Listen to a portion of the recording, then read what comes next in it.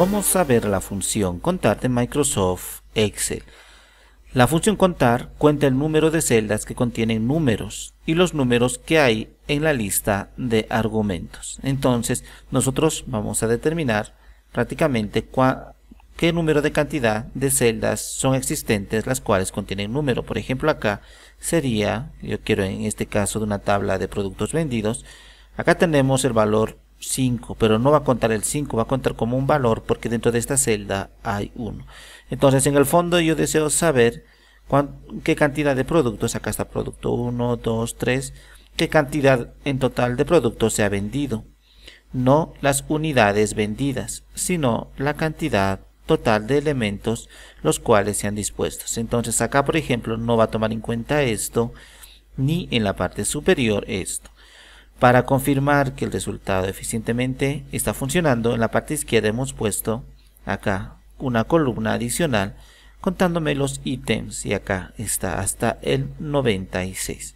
Entonces vamos a hacer dos prácticamente con la función contar. Uno me va a contar la cantidad total de productos vendidos y otro la cantidad total de productos que han, que han salido acá y los productos con los cuales contamos.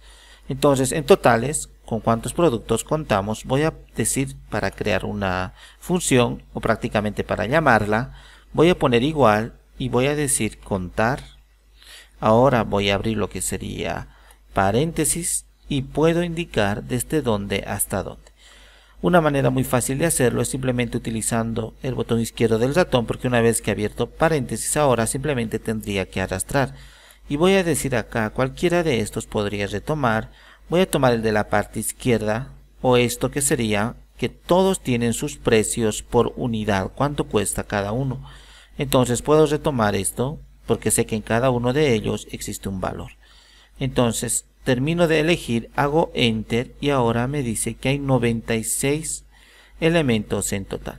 Voy a confirmar y efectivamente como podemos apreciar acá son 96 en total los existentes y ahora me interesa saber cuántos se han vendido en total.